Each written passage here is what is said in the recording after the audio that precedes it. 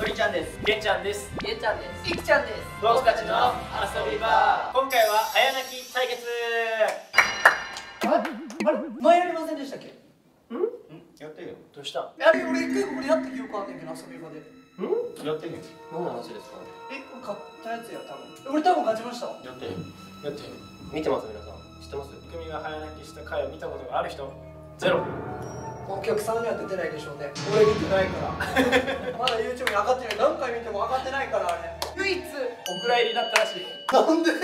なんか引き絵で撮ってて涙が全く見えなかったらしい。だから郁美が泣いたのもちょっと分かんなかったらしい。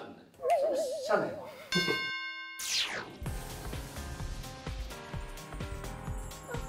あー送るあー来た来た。すごい。綺麗な涙。何のことを考えられてたんですかそうそう確かに。で一瞬親のこと考えましたけど悲しい気持ち気持ちだ笑った方がなんか涙腺みたいに逆の方が。そのなかったことにして一回。オッケーオッケー。もうそんなんない郁美が勝ったのなかったそうだから今回はちゃんと涙を見れるように自分のスマホでみんなね。ああ自分ああなるほど。お茶にしながら正真正銘だ泣けないんですよね。お前涙ないもんな枯れてるんで。確かにゆうたの泣いてるとこいや全員なくないですか？あります？みんなが泣いてるとこ俺結構ある俺とりちゃんの前で酒飲んで泣いたことあった気がする。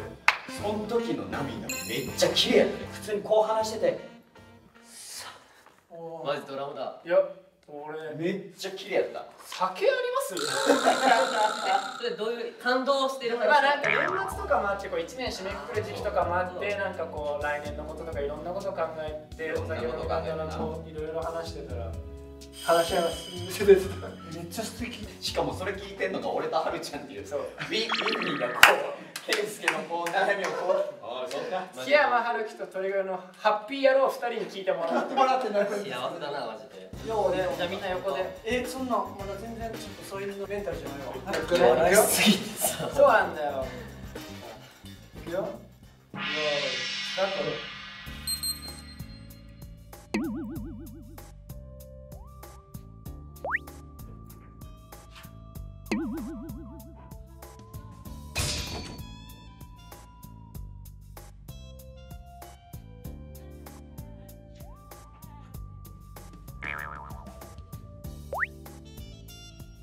すごいろんな役作りの仕方があるんですね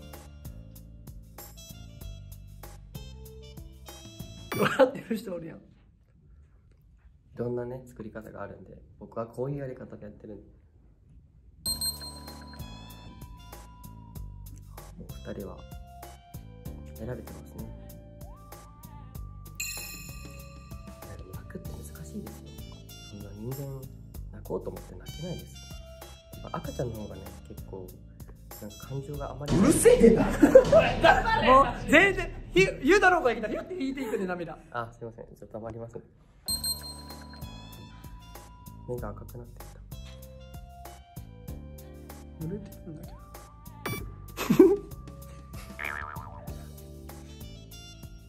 違うね俺自撮りするとさ後ろに鳥越の絵が入ってくる それはしないよ。それはそれはやめてよ。それはずるいよ。いやもうダメだこれちょっともう一回作り直そう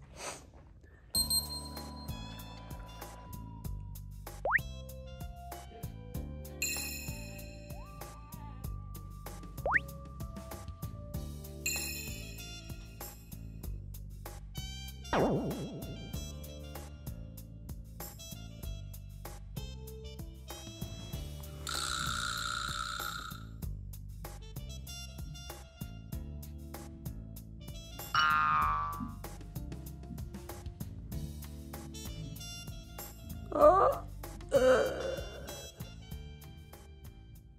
あ出た。おすごい。あ出た。おすごい。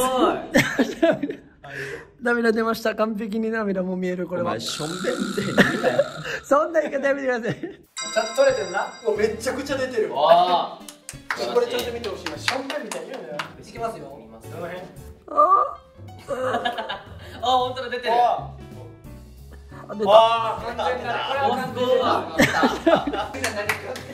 一応芝居のさ元あった芝居のこう感情入ったやつを思い越してたけど一切のやつさいやお前ずっとあれどういう作戦やったのいや下手くそやであいつ入ってへんからあいつそういうの分かってやから俺途中で俺これ思い浮かんでこれ来た瞬間俺もうシャトダウンや俺は憎みない考えてないか1回目買ったのになとか思い出したり。1回目の勝ったってことで泣けたの？お悔しさでここまで来てでも1回めっちゃ悔しかったんですよ。俺あなたの番でする時に泣いてもいいよって言われた時に涙目だけど目赤くして終わったんですよ、うん。そう瞬時にできなくて。それ悔しくてなんかいろいろメカニズムとかも研究したり。すげえ。すごい。すごい。はいさちゃんの優勝でというわけでお蔵入りになります。すいやーまたまた。チャンネル登録高評価よろしくお願いします。ビーニャルさん新卒で毎日が精一杯。元気が出る魔法をかけてください。いくみ。ミマリマネス君パンダムユッチョンマンニャーこっちが聞きたいわ